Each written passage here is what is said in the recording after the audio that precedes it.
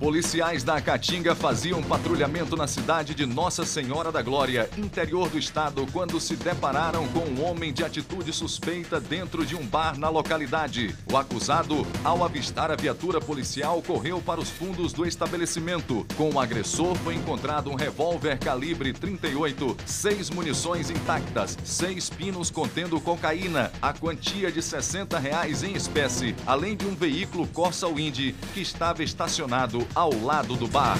Vandson de Oliveira, de 22 anos, foi preso em flagrante, suspeito de receptação dolosa de motocicleta. A ação policial aconteceu no bairro Oviedo Teixeira, em Itabaiana. O suspeito foi capturado em posse da motocicleta furtada no dia 13 de dezembro de 2020 no município de Lagarto e apresentava sinais de adulteração, como chassi e motor remarcados e troca de placa. O veículo vinha sendo negociado em redes sociais e foi trazido para comercialização em Itabaiana.